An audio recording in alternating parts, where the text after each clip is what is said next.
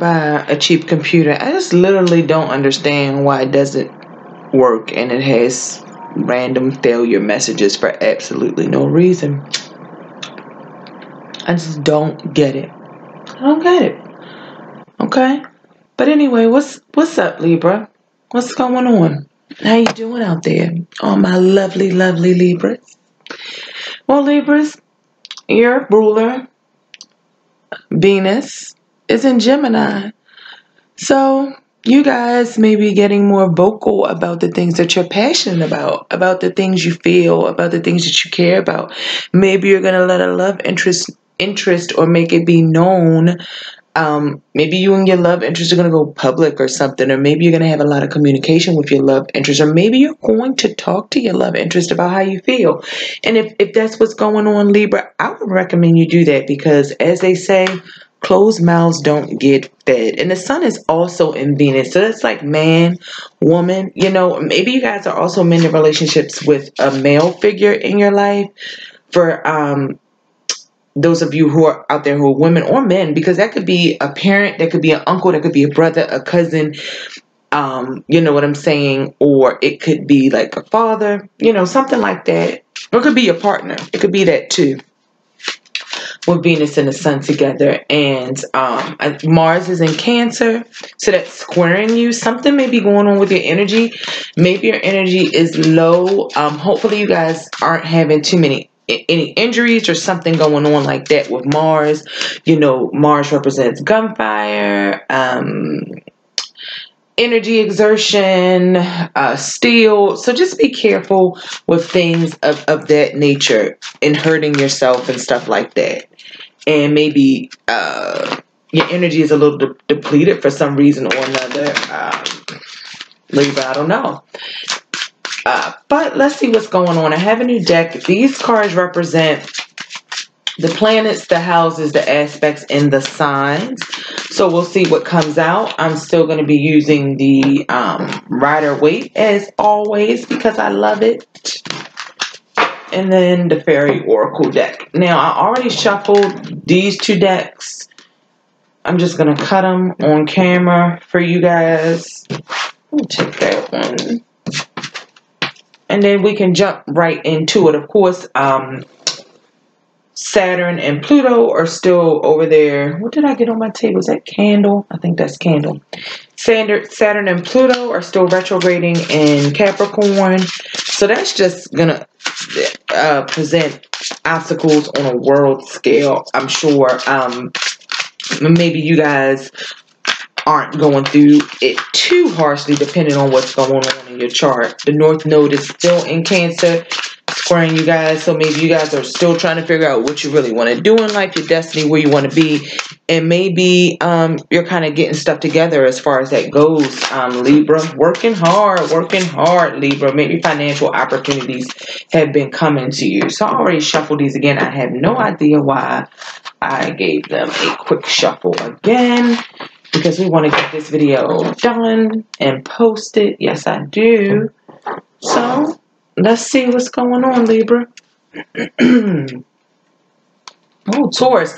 It's funny when I was shuffling these cards, like half of the deck had flipped over in my hand and one of the cards was, was Libra. So I felt the strong Venus energy. And then you guys have the Taurus card that comes out. So you guys are definitely being about your money. You may have a love interest. You're, you're definitely um, interested in the romantic things this month. You're interested in things that are beautiful. You're interested in having a good time. You're interested in love, Libra. You want to love and you want to be loved. And what's really funny is Pisces came out and I don't know why these don't seem to focus very clearly, but Pisces came out as well. So the funny thing about Taurus and Pisces, like I told you before I even dealt the cards, when I was shuffling this deck, that was the only deck I didn't shuffle, so I was shuffling off camera, and the the deck flipped over in my hand and Libra showed. It didn't fall or anything. Sometimes I will take fallouts or jumping cards or something like that. So I said, hey, I'll turn that back over. We'll see if it comes out.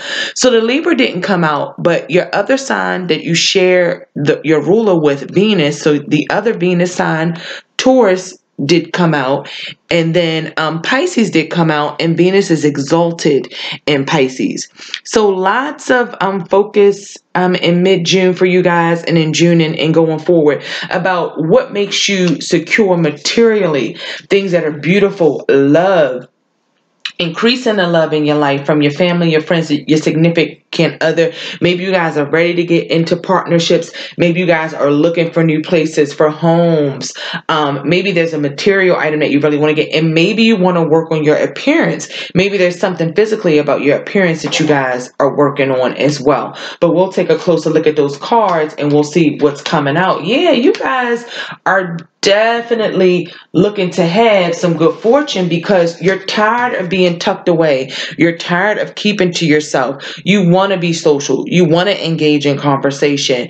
You want to be seen for who you are. You don't want to be sitting back in the cut letting life pass you by. And that's a um that's a, a great thing Libra. That's a really, really good thing. So I'm I'm I'm I am suspecting that June it may be a busier month uh, for you than some of the other months have been up until this point, where you're really wanting to get out of out there, be social, and things of that nature. Not that Libra isn't usually social, but maybe things in your situation are better than they had been when before you were in let me deal these three cards before I say what I'm going to say. Oh, that Five of Springs had come out. Oh, that did too. And I shuffled. I shuffled this deck, but we're gonna go with it because Gemini got, Gemini got the awakening, and I did a reading for myself in between readings, and I got that. But we'll we'll talk about it. So you're coming out of a period of stagnation and just really thinking to yourself, making plans. Maybe you guys were having to work on something substantial, something with your finances, something with your health. Maybe you guys had been preoccupied with work or whatever situation you were in. It didn't it doesn't have to be necessarily work. Like this card to me, the hermit, and I said I wasn't taking any reversals, so I'm going to turn this right side up. In Gemini's reading, I did say I wasn't taking any reversals, and I forgot to say that in your reading. I was so busy talking. But this could represent being tucked away, be, being hidden away.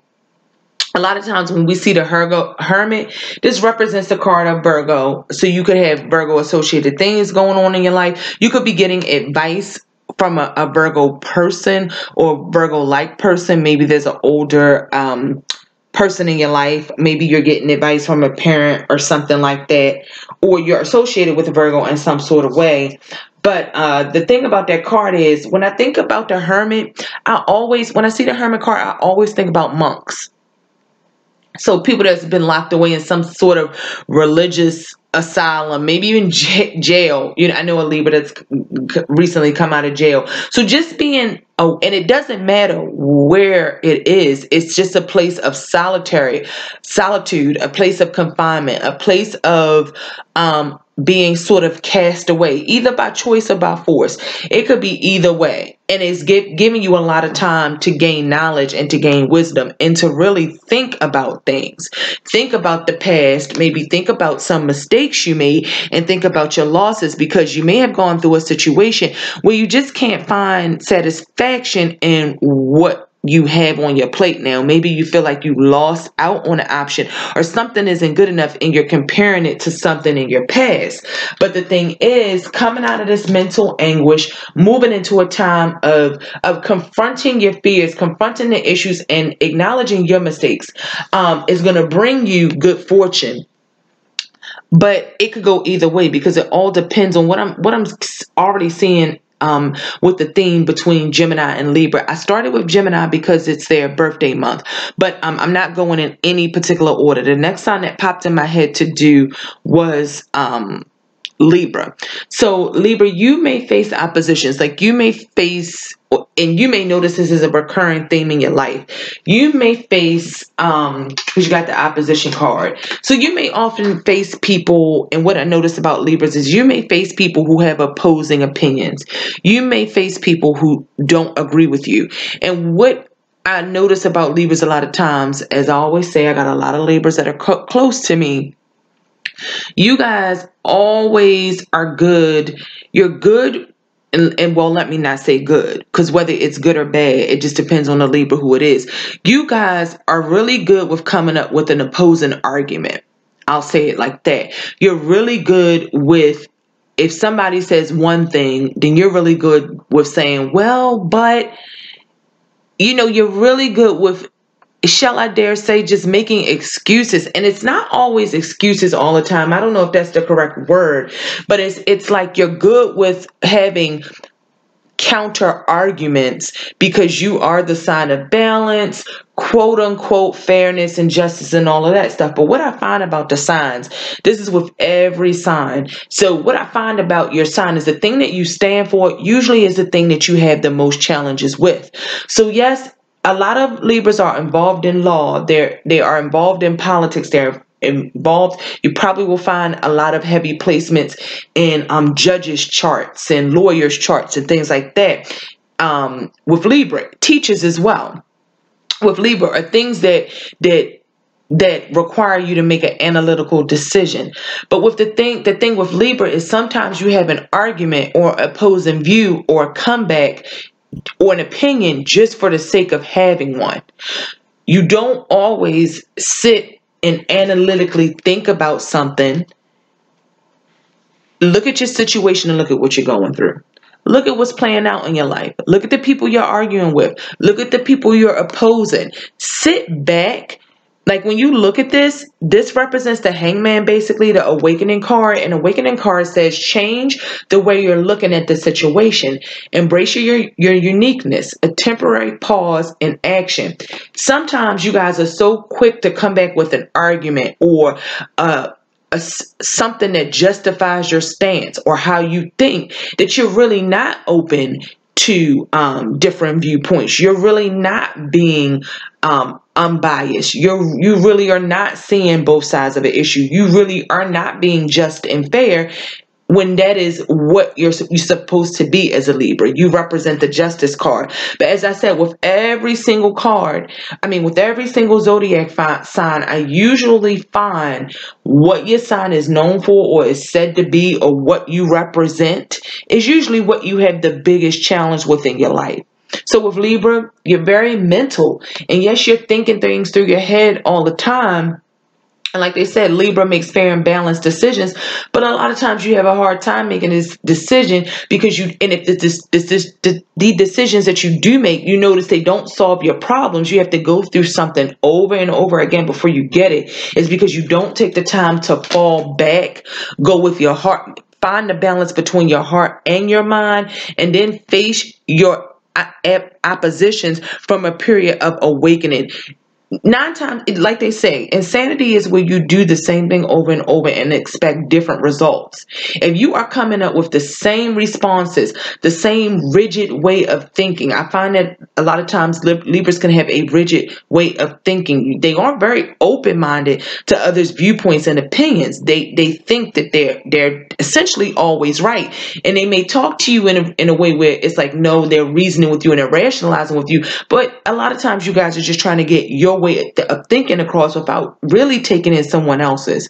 And a high a Libra operating from a higher um, point, a higher echelon of their being, they're not going to be like that. A Libra is going to go inside, take time to consider what somebody else is saying, run it through your mind, and then run it through your heart, and then come back and face your oppositions in that way, so that you can have the peace and harmony that you're due, that that you deserve to have. The elements of Taurus and Libra represent peace, and harmony, having a certain level of intuition and a spiritual ground grounding and knowing, not um arguing or having a comeback for the sake of arguing or having a comeback or for the sake of being difficult. A lot of times air signs, period, because you are so mental and you think of things and you guys do have a lot of data and information, but you don't know how to use it and you don't know how to apply it. You forget you gotta, there's feelings out there, there's emotions that you have to be intact with. And there are people out there that may know more than you. There are people out there who are actually wise.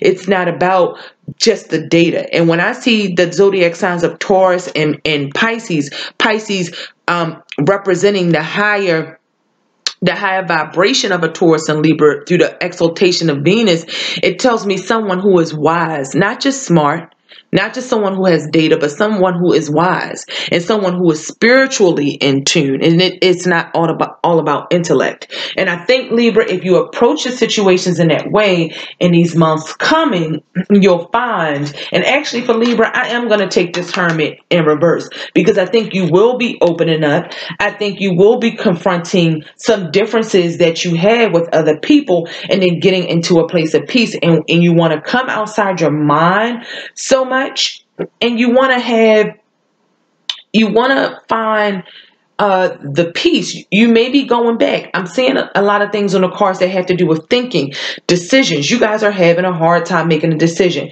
You may be juggling uh, different things. You may be involved like uh, in sports like basketball and things like that too and you may be trying to get your health together in regards to things like that because you got the two of autumn it says bring fun into everything you do juggling multi multiple priorities or jobs, and exceptional talent for multitasking. So you guys may have different talents that you're in, interested in. Some of you may be working two or three jobs, and it could have been affecting your health, and um, you're trying to figure out a way to consolidate to find your center and then follow what you really want to do. So in this month of June, as we go into Cancer season, whoop, whoop, as we go into July, July, a lot of what I'm seeing so far between the Gemini reading that I've done and the Libra reading I've done is finding your passion.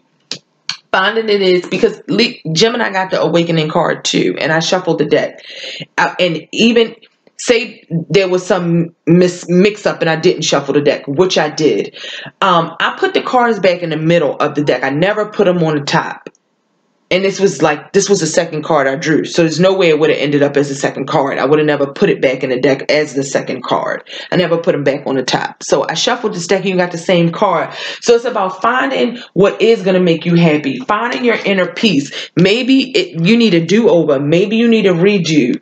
Maybe you have thought something through and you figure out where your happiness is and you need to approach it that way. But in the meantime, I feel like you have a lot of inner thoughts and oppositions and you may be juggling different things. But i don't see that there's necessarily satisfaction with um, those different things. Again some of you um, i have a libra friend he's really into basketball. Some of you may be into basketball. What's really funny is this is the two of pentacles. And a lot of times what will happen is i'll do a reading. So i automatically just spit out to you guys what I see and what I feel when I deal the cards. Don't take a lot of time to look at them or anything like that. And then say I'll get up from the table after each reading. I may go get something to eat. I may sit down for a second. May go use the bathroom. And then other things start to come to me about that those readings. And um, I'm going to start to make the, if you want to actually not going to start to, Readings are available on my page. They aren't the extended ones. I'm going to put up extended ones because a lot of insights come after I think about these cards and and and on everything on my on my dead daddy. I was thinking about the two of pentacles and it was something that had tied into to a reading that I did. And I, I said, you know, that could be sports, a juggling of balls, a bouncing of balls. And I thought of basketball. And this was earlier this morning, around five, six o'clock this morning. I'm doing this reading on Monday, June the 10th 10th around 12 o'clock p.m. And then I get the Two of Autumn, which is the, the Two of Pentacles. It's just different in the Fairy or Oracle deck. And it talks about fun, balancing multiple priorities. So some of you guys may be into sports, specifically basketball, or you may just be juggling um, several different things. And you may really be giving some deep thought into um, what you really want to do and what direction you really want to go in. And there you, you have a lot of opposition and you have some antagonistic things that are going on. So you can't make up your mind. It's like you're not satisfied with anything or you're just not not feeling like the the current situation is 100% okay. So, and I feel like it's more so between two people and relationships and whatever it is that you're passionate about or that you do for your spare time. And maybe not your main job, but like your side job. Or for those of you that are juggling like two or three jobs, maybe you're thinking how to condense those down into one job because you may be tired and you may be having some health health issues and just need a break because of it. And I'm going to read what's on this opposition card, but you may be having some fights and some oppositions. Maybe you're dealing with a Taurus and a Pisces.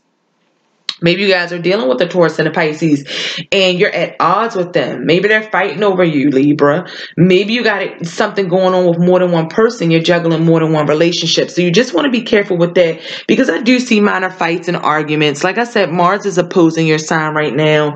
Um, it's in um, Cancer. So it's not opposing it's squaring your sign right now which can be even a little, a little bit more difficult than the opposition. I would say squares are more different from from opposition just because it's something that comes from the side. So it's something not e easily figured out. Maybe you have someone or you're dealing with people where it's not easily figured out and you're like okay i'm not making a decision on any of these people because they're they're what I'm trying to see in them or however your mind is thinking, Libra, the light bulb has not gone off for you yet where you can make a final decision between these people because Mars in Cancer, it's a Cancer is a square to your sign, so Mars is squaring you. So that's a lot about that energy that's causing those arguments, and maybe some delays and some antagonistic thoughts and, and experiences that you're having with other people. So you may be coming into minor conflicts, fights, and just a disagreement of opinions period. You could have a Taurus and Pisces, mother, sister, brother, cousin, aunt, uncle. Um, these are women. So these are either probably two women that you're dealing with. Women out there, you could take it as two men that you're dealing with. There may be some Taurus, uh, some Libras out there that are dealing with Tauruses and Pisces, or these could be the bosses at your job, or someone, some someone who you are uh, obliged to, or you have some sort of relationship with, and um or you may want to get into things like I talked about that are more about your beauty, um, your health. You may be thinking about having kids, um, being practical, grounding yourself more than you are usually grounded with the earth side of Venus. So not getting your card out and having the earth side come out, you could be trying to decide, look, who's loyal? Who deserves my time and attention? Who deserves to have a relationship with me? You guys may be wanting to start a family and really plant your feet and roots on the ground. And you're you are looking for somebody that you can heal with, you can be spiritual with, you can grow with. But again, don't be illogical. One of the words on the Pisces card, Pisces is known as the mystic, and Taurus in this deck is known as the bombshell. You may be dealing with something that somebody that you're very attracted to, and you're trying to make a decision, you know, or you're trying to let them know how you feel. But um, don't keep it in your head. Don't stay in a dreamy and a, in a practical state. You need to let people know and have the conversations with people. Because until you do and you get these things straight, you're going to stay in a state of opposition where you're not necessarily getting what you want or you feel what you want is somewhat out of reach. The key to getting what you want this month is to talk about it to have a conversation, to sit with someone down and say, This is how I feel, let's talk about this, to make it known. If you never do it, you will never know what what ha- what could have been the possibilities. And until you do that, you're going to be off balance. This opposition, the key word on the opposition is balance. I said relates, mirrors, interacts, comforts, makes conscious, manifests, disciplines, conflicts with, tests, objectifies, and calls out people reflect back to you what you reflect. That's why I was saying when you come at people with just your intelligent answers and you don't put a lot of feeling into it, you, are going to stay in a combative energy. If you're wondering why sometimes you don't get the reaction from people that you're looking for, you need to go deeper within yourself and bring something deeper to the table because a lot of times you Libras can stay very much on the surface, but you have feelings that go very deep, but you don't always show that. And that, that you need to come into balance. So I did not get the Libra card, but the opposition card, which is an aspect in astrology, it definitely talks about balance. Definitely talks about balance. And right now, with um the North Node being in Cancer, Mars being in Cancer, you need to balance your energies and find a middle ground to where you can relate to other people.